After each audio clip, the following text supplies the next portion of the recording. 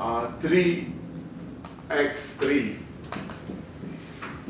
Right, and we can now simplify this into x4 is equal 30 minus 9 is 21. Then we have uh, uh, plus, okay, what do we have here? We have minus 1 quarter x2 plus x2. This is plus 3 quarters. It becomes minus 3 quarters x2. Then we have, uh, um, uh, uh, okay, then we have x3, 3x3 uh, minus 1 half x3. This is 2 and a half x3. So uh, it will be uh, it will be minus 2.5 x3 um, and uh, uh, we have plus 1 quarter x6 let's write this as uh, 5 over 2 okay? And you do exactly the same with x5 right? You will get something here and the very last one well this is the one that we are using to eliminate. It will be just uh, x1 is equal to 9 minus 1 quarter uh, x2 uh, minus 1 half x3 and uh, minus 1 quarter x6. What is x5? Let me just write it here. Uh, x5 happens to be I'll just, uh, you can compute it at home, but it turns out to be 6 minus 3 halves uh, uh, x2 minus 4x3 uh, plus 1 quarter x6, right? So now these are our new constraints, right? And our new objective is uh, this one, right? Uh, let's see, where did I write it? Here it is. So new objective is 27 uh, plus 1 quarter x2 plus 1 half x3 minus 3 quarters x6 right? And how, um, what can we do now? We cannot increase x6 because it has negative coefficient. But we can increase either x2 or x3, right? At the moment they are all, uh, both are zeros. Now let's see, say we choose uh, to deal with, uh, to increase x2. How much can I increase x2 without violating positivity of x4?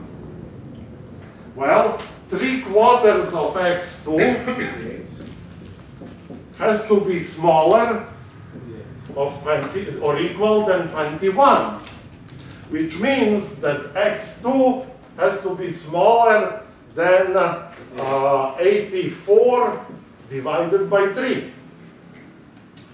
How much can I increase x2 without violating these constraints? Well, 3 halves uh, let's see. Uh, So you get the idea. This is essentially walking along the edges of a, uh, of a simplex, right? This is why it's called the right simplex method. Uh, if you imagine this uh, all happening in a six-dimensional space, uh, um, And uh, so let's quickly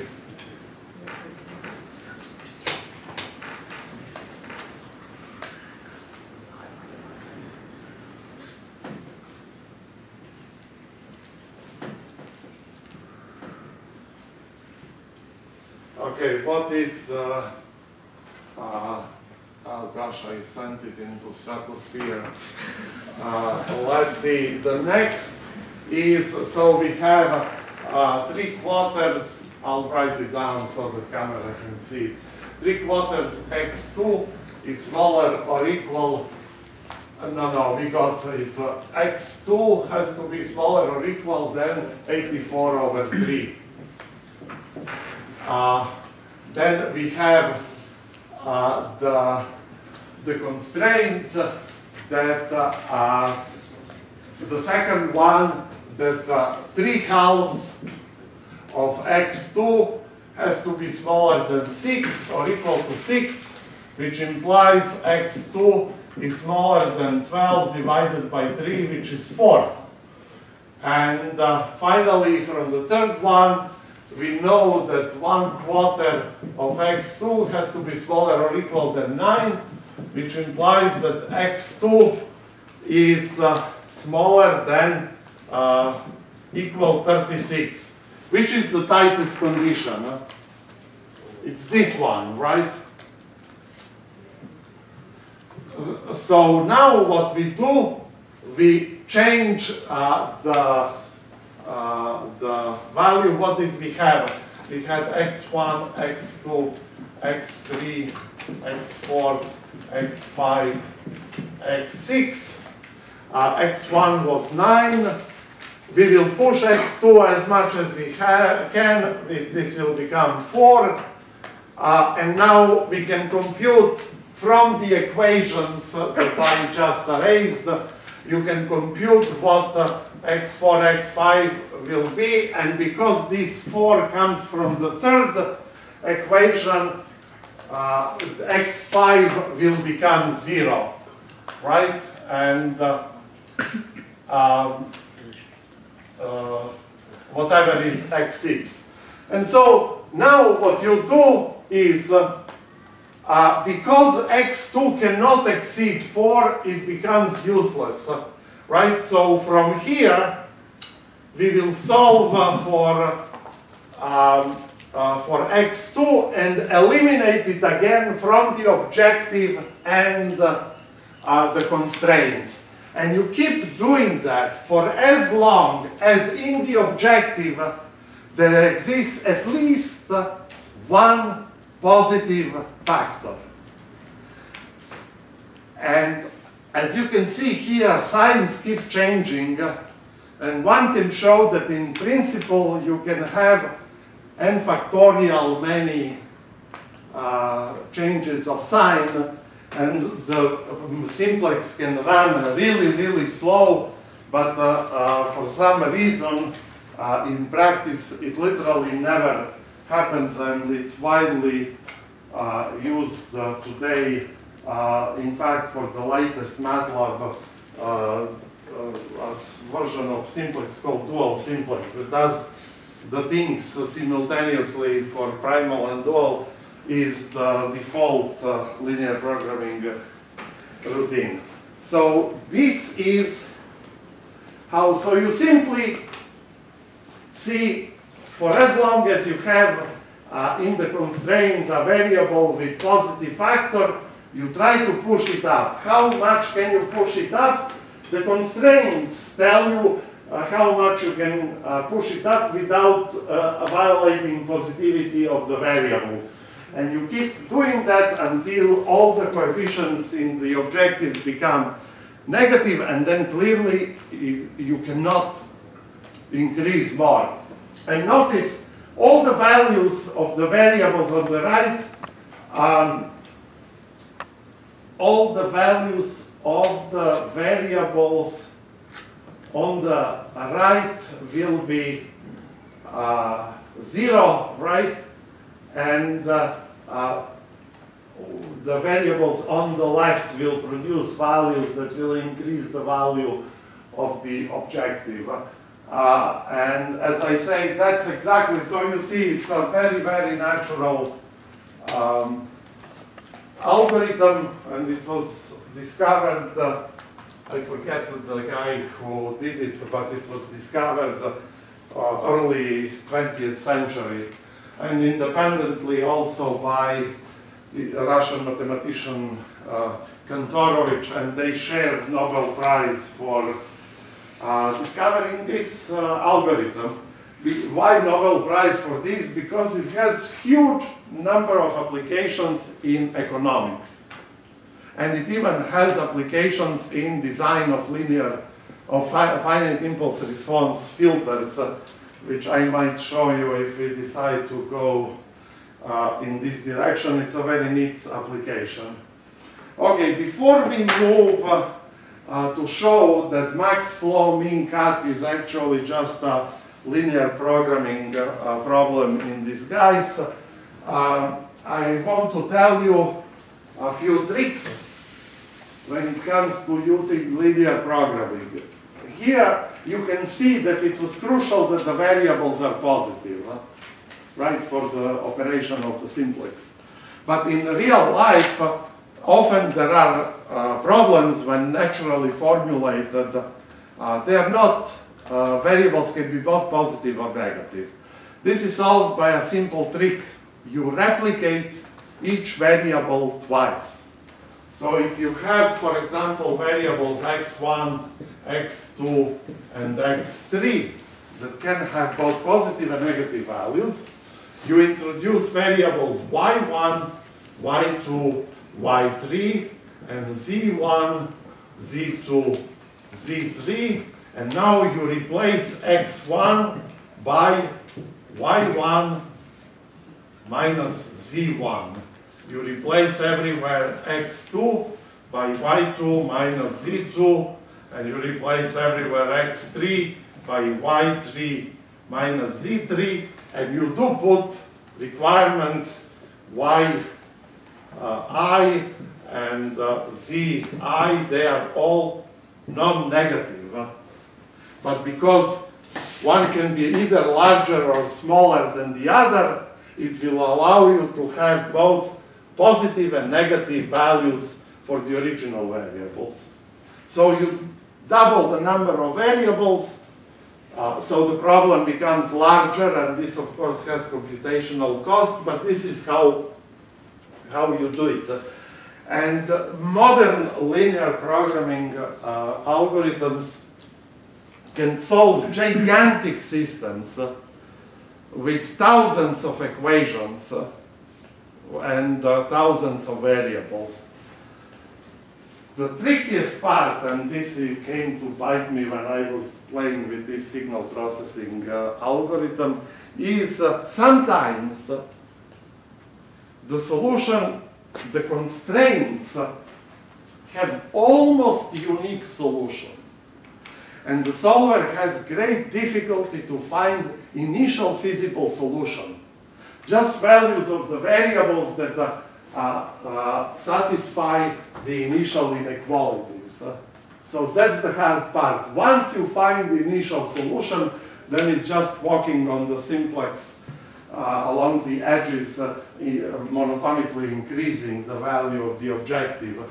Uh, but finding initial, if the problem is tight, right, if the space in which, if these inequalities uh, define a very narrow piece of uh, uh, hyperspace, right?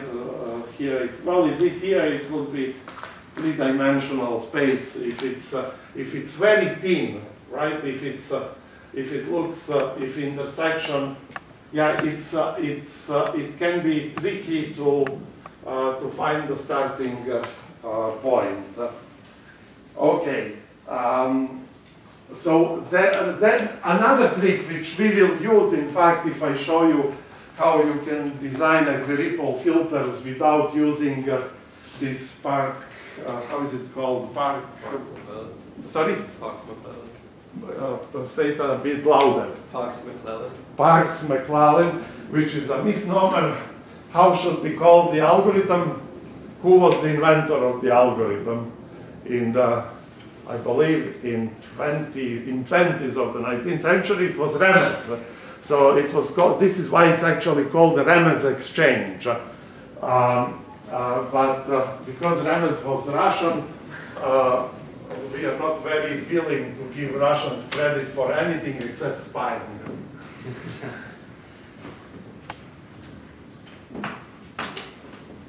okay, so um, to, to design ripple filters, we will need the following uh, trick. Uh, very often, um, uh, sure, uh, okay, let's see. Should I give you an example or, um, yeah, uh, well, we will see example later on. Sometimes natural definition actually looks as follows. Uh, is uh, a11 x1 plus a12 x2 plus, plus anxn. Uh, you want this uh, not just to be smaller than some value b1, but you actually want uh, that uh, the absolute value of uh, uh, these be smaller than b1 how do we uh, solve this problem? Let me not make a mistake uh, here. What do I want to um, do?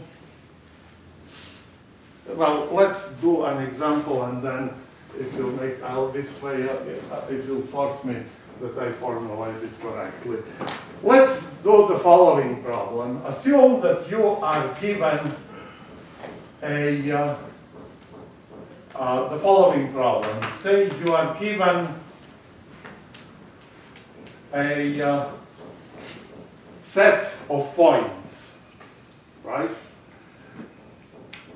And you want to fit a line that is as close as possible to these points. Right? One possibility of doing that would be, which one? We, we did this method. In what sense should the line be as close as possible to these points? What are the possible senses?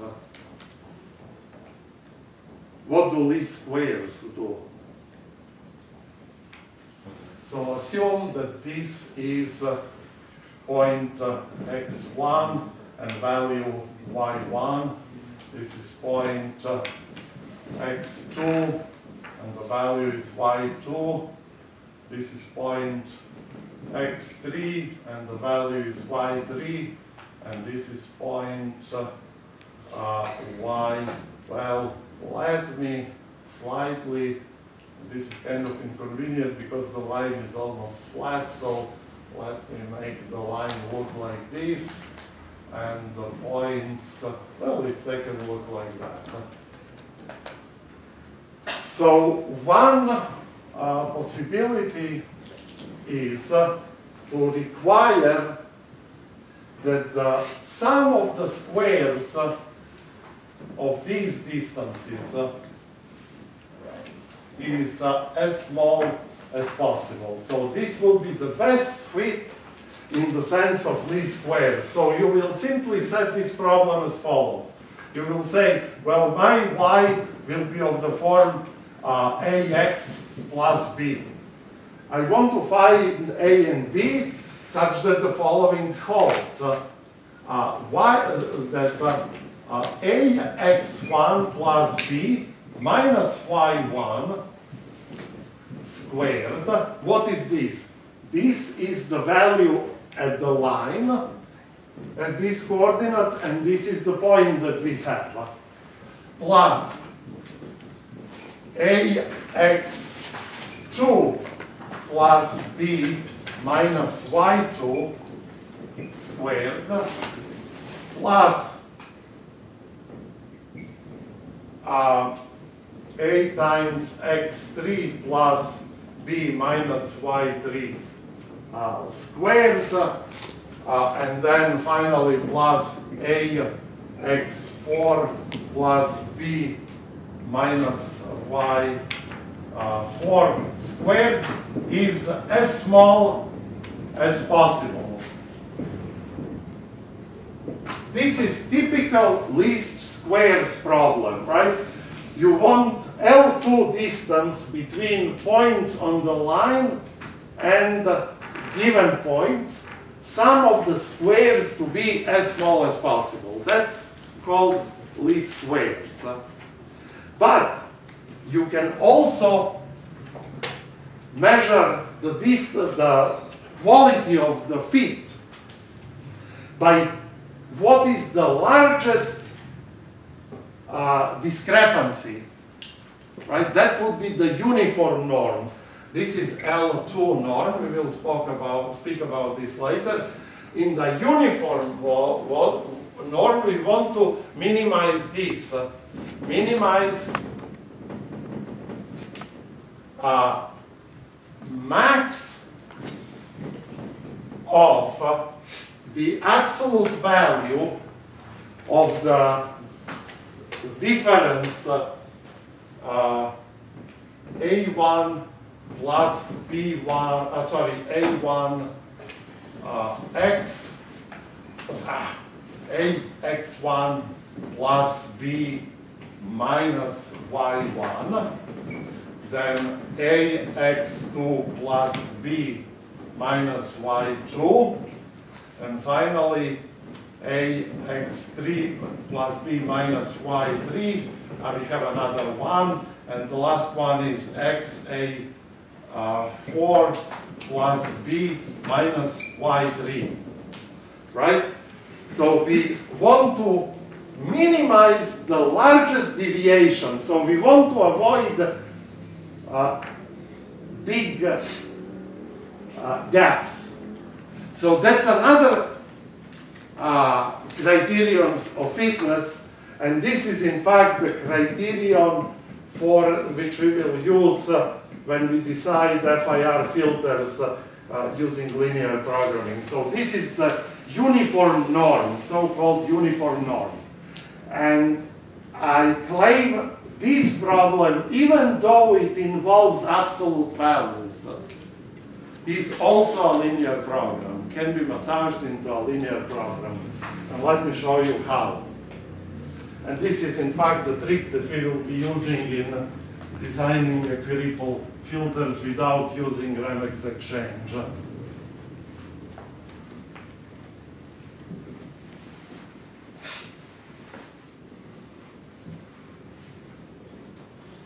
You simply introduce a new variable, u. Say, uh, so introduce a new variable u and put the following. What will u be? u will be bound on the absolute value. So you will put the following constraint. Uh, ax1 plus b minus y1, you want it smaller or equal than u. But you also want, because you want, this is what we want. We want this, right? And u will, we will try to minimize u. But this is not a linear constraint because of the absolute value.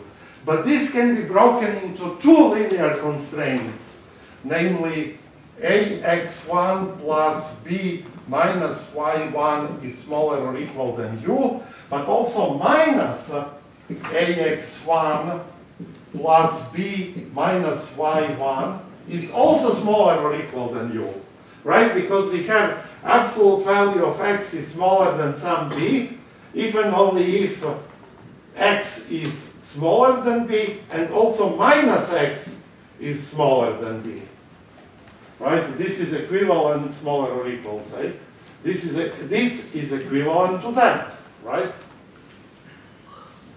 Um, so we replace all of these by conditions like this. So we will have all of them at the end. We will have uh, ax4 plus b minus y4 should be smaller than u and uh, minus uh, ax4 plus b minus y1 is smaller or equal than u.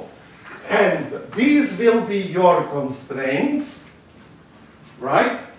And uh, um, the objective will be just minimize just the variable u.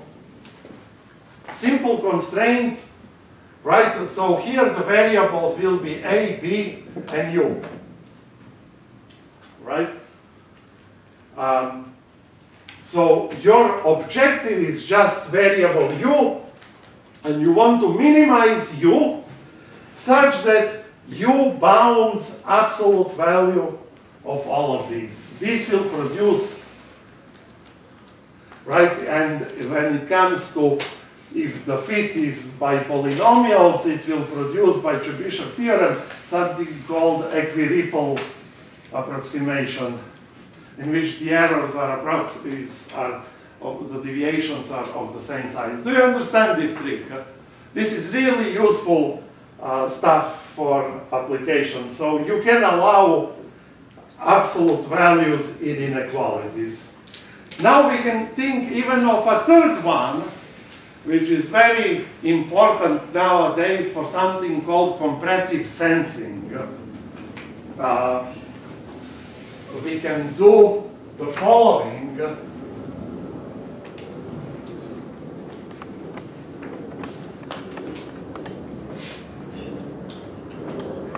Yet another type of norm that we want to minimize that measures the discrepancy.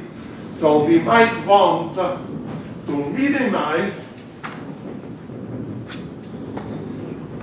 the absolute value, the sum of absolute values of uh, a, y, sorry, a uh, xi minus b, uh, no, plus b uh, minus yi when i goes from 1 to 4 because we have 4 points.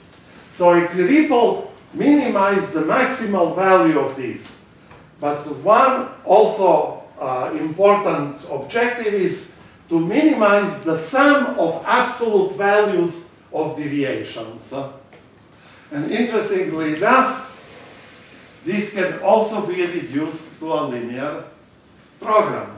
So you see, uh, the point is this is one of the reasons why linear programming is so important because with clever tricks, actually you can extend it to a, a large number of uh, prima facie non-linear problems, problems that are actually reducible to linear optimization problems.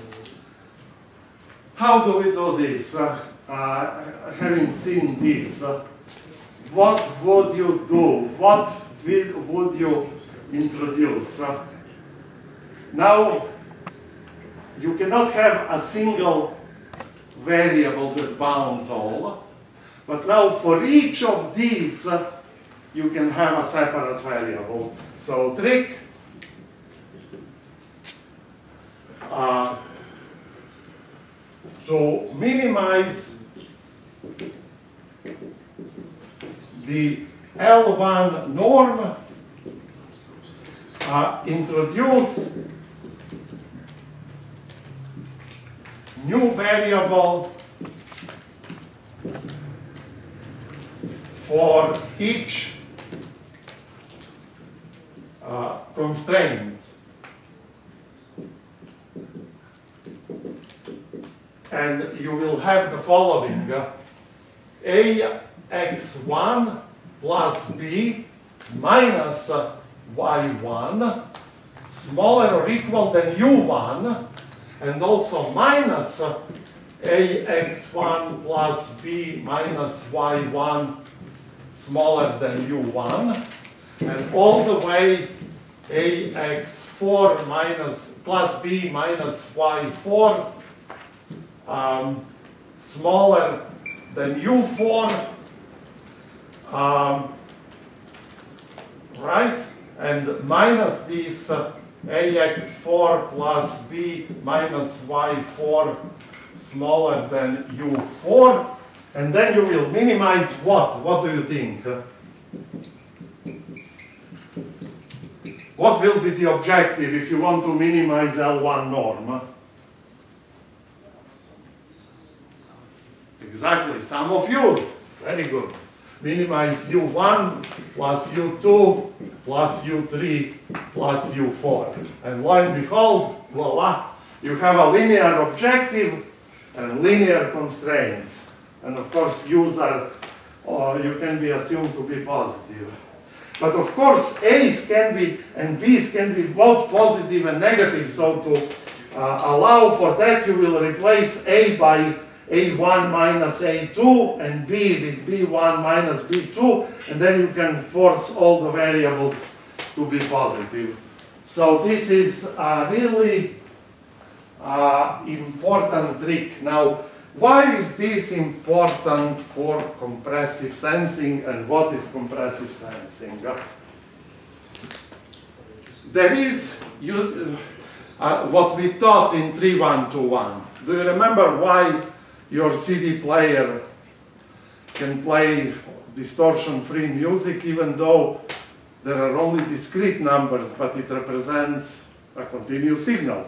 Well, the uh, theoretical background is that if you sample the signal at, at the rate twice the highest frequency present in the signal, then there is a unique signal that has these samples, unique band limited signal that has these samples, right? But this is, uh, produces huge amount of data, right? Uh, when you do the same trick with image, when you, then what you do nowadays, you don't store music in this way. You use uh, some of these compressed formats that lose information. Similar applies to images. Uh, uh, you get pixels by pixels, but storing them in raw format is prohibitively produces prohibitively large files, so you do a lossy compression by finding an approximation of the original image that is described by sparse set of coefficients. Because how JPEG works, if you, uh, you know, you, take something, it's not FFT, but actually discrete cosine transform, which is just a version of FFT, essentially. And you pick you take only large components and set small components to zero, right?